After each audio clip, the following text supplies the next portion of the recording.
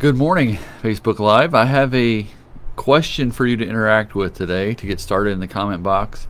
If you have uh, one skill, good morning. I can never tell, still can't tell. There's a little loop between uh, when we get started. But good morning, Facebook Live. I have a question I want to start with today. Uh, if you have one specific skill that is more developed, uh, maybe you're proud of this skill, um, or you've spent more time practicing that than any other thing, I want you to share it with me in the comment box today. Uh, it's kind of our theme today. Maybe you've just spent more time doing it than most other people. You think, you know what? I'm probably better than most people at X. It could be, um, you know, reading. I read tons. Uh, uh it could be knitting. It can be playing an instrument. Uh, it can be a sport, uh, a game. I'm going to use chess as an example today. Um, uh, maybe you're just a great driver, but what is it that you are um, likely more skilled at than other people because you've either done more practice or had more preparation? Um, and just it can be just one word, and if you leave that in the comment box today, it'll make this a little more interesting for all of us so we can read those. Uh, for me, it's likely I had to think about it a little bit. Um, I probably am more practiced than most people at public speaking. Um, I've been a pastor now for 13 years, and I did some some numbers this morning. Uh, I think I've preached more than 500 messages at, at this church where I am. Good morning, Peggy. And but that still doesn't really even add up to about a thousand hours of actually speaking. Um, the preparation would probably be more, well more than that. So, um, so I tried to figure out something that I have done for um, 10,000 hours. I've been pastoring uh, for this church for about 13 years now, which makes 650 weeks. So if if we just figured on average if there was 40 hours in a week, um, and usually there's more than that, but if you did 650 weeks at 40 hours, that is 26,000 hours. Now a pastor's skills are varied. That's not all public speaking, but I probably do more public speaking than most people. Um, but that was probably one of the one of the few things I probably read more uh, than most people, if reading can be considered a skill. Um, but anyway, I'm interested in what your skills are. Go ahead and post those in the comments. We're interested in that. Good morning. I'm Pastor Jeff Elliott here from uh, New Horizons Fellowship in uh, New Haven, Indiana. I um, want to welcome all of you that join us. Appreciate you being out there. Got an interesting topic for us today. A little uh, article I've probably been several months ago when I started this thought, but saved it for today. Um, I want to give a few announcements before that. We are uh, gearing up for our board met last night. We are gearing up for a back to school event um, here at the church. Um, not quite sure what it's going to look like, but we know we need to get in get in gear about collecting school supplies. So we're doing that, uh, and this is serving as a reminder. If you want to support um, mostly the school district where we are, uh, that's where most of our people come from but we're collecting um, papers, folders, markers, pencils, erasers, glue stick, all those sorts of things that kids always need when we start school. Um, so whether they're going to be schooling at home or whether they're going to be going into a building together with other classmates, uh, they are going to need supplies. So we're going to help them out with that. We've been doing this for oh, a few years now. Um, and we're still working out whether whether it'll be a drive-through, whether people will walk through the building, or whatever it's going to be. But we appreciate uh, if you want to make donations here at the church. You can contact me on Facebook. You can let us know when you can stop by and drop stuff off. Um, anyway, so I want to let you know about that, uh, and you can support uh, our, our, local school district here as well. So this coming Sunday, um, we are once again we're still delayed on obtaining the video camera that's been ordered for weeks now. Uh, so it'll be um, this. It looks the quality is good as long as I'm sitting here, but when we go into our fellowship hall, it's not as good. The lighting is a little different, um, and we're still waiting for a really good quality video camera. But this Sunday will be the same as last Sunday. We are meeting in person, have been for a number of weeks now. You're more than welcome to join us at 10:15. Um, but our our Facebook Live service starts at 10:30. Uh, and I'm going to go run some audio tests immediately when I'm done here. Because uh, as I went back and watched Sunday, that's when we sing, it's just kind of blasting. So I'm going to try some different settings on the mic, and hopefully that'll be better for us for Sunday. Uh, but this Sunday we are back in the study of the Heart of a King, uh, still the life of Saul. Uh, mostly 1 Samuel chapter 13. Um, 14 is kind of included, but maybe just a couple verses towards the end there. So if you wanted to, to be prepared for that, that's 1 Samuel 13. Uh, got some breaking news uh, this morning. Uh, a truck carrying toupees crashed on the highway, spilling everything, and uh, police are combing the area. Um, there you go. See, I slipped in jokes on you. I'm going to start trying to just get these in there so you're not even paying attention. Uh, my friend and I just started a business where we weigh tiny objects. It's a small scale operation. Uh, see, there's another one. You didn't even see it coming, did you? You thought I was on to a new topic about uh, a new business. But uh, I was also really mad at my, my friend Mark for stealing my dictionary. I said, Mark my words. See, there's another one. Uh, finally, this morning, the last joke. If I if I had 50 cents for every math exam I failed, I'd have six dollars and thirty cents. And for those of you who are really poor at math, uh, it's impossible to end up with 30 cents if I got 50 cents for every math exam. Uh, hopefully, you got that. Anyway, uh, sometimes these jokes look really good on paper. Um, uh, and I hope they make you laugh because I certainly get a kick out of them. That's the only reason I bring them here. So, anyway, back to our topic today. Uh, I want to ask if you've ever heard of. This is why I started with our open this morning. What skill do you think uh, it's likely that you would have uh, that most that would be more developed? Good morning, Margaret. That would be more developed than other people's skills. Things that you've spent more time doing than most people. Um, and I asked the question because it's based on uh, a, a a principle I heard years ago called the 10,000 hour rule. So I did some research and I went back to the source to find out where this came from. Um, and it's basically from a, a, study from, you know, many years ago, but also an, an article of, of recent days. And I say recent because I, I don't really know, remember the exact date, but certainly this person is alive today. So, um, but I want to read this uh, part of an article, um, and I'll I'll send you the, the link or put it in the comments. It's from the New Yorker uh, by a guy named Malcolm Gladwell, who you may or may not be familiar with, but he's got a fascinating podcast of his own. Uh, but this was from an article he also wrote for the New Yorker magazine. This is part of the article that he wrote. It says 40 years ago, um, in a paper in American Scientist, Herbert Simon and William Chase drew one of the most famous conclusions in the study of expertise. Um, there are no instant experts in chess. Certainly no instant masters or grandmasters. There appears not to be on record any case, including Bobby Fischer, where a person reached grandmaster level with less than about a decade's intense preoccupation with the game. And I, I want to read that part again because that's crucial to where we're going to go today. Uh, they studied they studied chess and said there's no person on record who has become a grandmaster level chess player with less than a decade of intense preoccupation with the game. They continue on. We would estimate very roughly that a master has spent perhaps 10,000 to 50,000 hours staring at chess positions. In the years that followed, an entire field within psychology grew up devoted to elaborating on Simon and Chase's observation. And researchers, time and again, reached the same conclusion. It takes a lot of practice to be good at complex tasks. And I wonder how much money we spent to discover that, right? Uh, but anyway, after their paper, uh, for example, the psychologist John Hayes looked at 76 famous classical composers and found that in almost every case, those composers did not create their greatest work until they had been composing for at least 10 years. Um, there's a couple exceptions. Shostakovich and Paganini, who took nine years, and another guy who I've never heard of, Erik Satie, who took eight. I think that's how you pronounce his name. But anyway, I'm still quoting from this this article. This is the scholar, and now Malcolm speaks for himself. This is the scholarly tradition I was referring to in my book Outliers when I wrote about the 10,000 hour rule. No one succeeds at a high level without innate talent.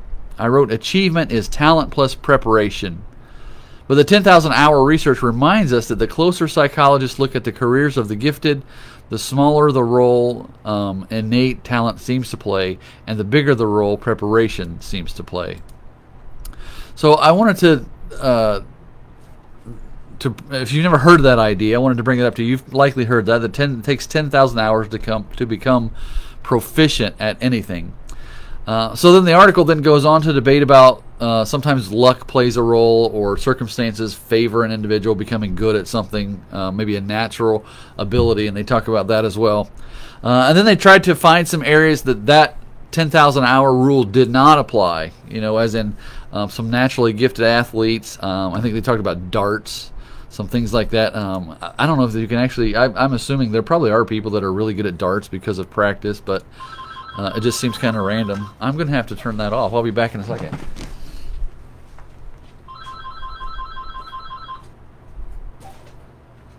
Sorry about that. It's probably one of our, you know, one of our many fans calling into the show we have here.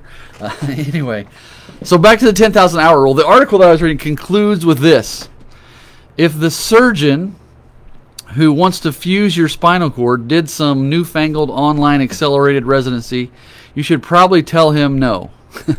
it does not invalidate the 10,000 hour principle, however, to point out that in instances where there are not a long list of situations and scenarios and possibilities to master, like jumping really high or running as fast as you can in a straight line or directing a sharp object at a large round piece of cork, expertise can be attained a whole lot more quickly, right? He's just listing there's a few things that matter, but in general, the principle still applies. So he says what Simon and Chase wrote 40 years ago remains true today. In cognitively demanding fields, there are no naturals. Um, I've thought about this concept often and thought if there was something I could devote 10,000 hours to, and I'm going to give you some numbers in a second, it is a, a lot of hours. Um, and that, that number has been debated, and I think we can safely say this. Um, if you gave 10,000 hours to something, you would very much likely be better than you were before the 10,000 hours. Uh, now, you may not be better than someone who has natural ability and less than 10,000 hours, but you would be, at least be better than you were. Um, so here's where I'm going to spin this for us today. I want to suggest today that we think about prayer in this way. Um, I wish I could have said in the open that I felt like I was a better prayer than most people. Um, but also, like most people, I feel that I am inadequate or inefficient or ineffective in that. And um, I know many other people lament that they just don't feel like they're good at it. Um, and most of us still struggle with prayer in the same way. Uh, you know, uh, um, time, we don't feel we give enough time to prayer, or we lose focus. Uh, we lose our commitment to prayer, our passion, uh, and we just feel ineffective in prayers. And we read passages in scriptures where Jesus would pray all night. Luke chapter 6, verse 12, it says that, and some other places as well. Um, Acts 1.14 talks about people devoting themselves to prayer. And the word devote there means to persist, to keep on with devotion, to be faithful. Uh, and as I thought through this topic today, uh, of course, the verse from 1 Thessalonians chapter 5 that we all know as pray without ceasing, I think is the way the King James says it. And I thought I would just really briefly look at what other versions describe this phrase pray without ceasing. And they say things like this pray continually, pray all the time, never stop praying, pray constantly. Okay, that's just different translations of 1 Thessalonians 5:17. Ephesians 6:18 says, "Pray at all times in the Spirit. Stay alert with all perseverance and intercession." The message says, "Pray hard and long" on Ephesians 6:18. Uh, Colossians 4:2, "Continue steadfastly in prayer." Other versions, "Devote yourselves to prayer." So I wanted to challenge us today and help us to think through some things. If we talk about a 10,000 hour rule to make us really proficient it's not a surprise that we wouldn't be really confident in our prayer skills if we haven't put in the time, right? So I want to break down some numbers for us. If we were to commit ourselves to giving 10,000 hours to prayer to become an expert, if we were to be a professional prayer at 10,000 hours, um, if we were to pray uh, 10 minutes a day, all right, it would take us to, to reach 10,000 hours of prayer at 10 minutes a day would take 164 years. Um, so we're already realizing that okay, this is going to take a long time. However, just think about it, that's just 10 minutes a day, which is not a lot. You can't. But think, let's say if you wanted to become a piano player and you only practice 10 minutes a day, it's going to take you 164 years to get good only practicing for 10 minutes. So what happens if we double our prayer time to 20 minutes a day, right? So then, if we did that, if we prayed 20 minutes a day to get to 10,000 hours of prayer, to feel proficient at it, to feel good at it, it would take 82 years, right? We just half the years that we had before. Um, um, so that's still that's that's a lifetime's worth of prayer, right? At, at 20 minutes a day. So if we did a half hour or an hour segment, what is the math on that? If we prayed for 30 minutes a day, it takes about 55 years to reach the 10,000 hours. If we prayed 40 minutes a day, it takes about 41 years to reach 10,000 hours. The last one I did was if we prayed one hour a day, it takes more than 27 years of praying one hour a day to be considered a really good prayer, at least according to the 10,000 hour rule. So let's think about that. How many of us, probably very, very few, pray for one hour a day? Uh, and for us to be confident in it, it would take 27 years of praying one hour a day to do that. So it's no wonder that we don't feel that confident and that encouraged. So I wanted to to speak to you today to challenge your prayer life. To let just think through the numbers. Let's just look at what the math says about that. It's not a surprise that we don't feel confident in our prayer. We are um, a people who we talk about prayer quite a bit, but we often we fail to do it. We feel terrible about not doing it more. We don't feel that we do it well. It's because we just don't have a lot of practice in. Uh, we live in a country that needs a great deal of prayer right now. So, and I wanted to, us to to move forward in that as well. That what if we recommitted ourselves to prayer? What if all of the good intentions in the world and all the protests and all the activism uh, and all the hours spent online were preceded by prayer? What if in our off hours, instead of being consumed with media and entertainment, we were consumed with time with God and an opportunity to pray? So I want to, you know, give you some some little tools uh, today, just a few. Use your online time for a good purpose. Maybe you're a huge YouTube person. Um, there are tons and tons of uh, YouTube videos that have prayer guides uh, and meditation and music, and uh, some have verses on the screen. Some can be focused on a certain aspect of prayer. Uh, and I want to encourage you to use those.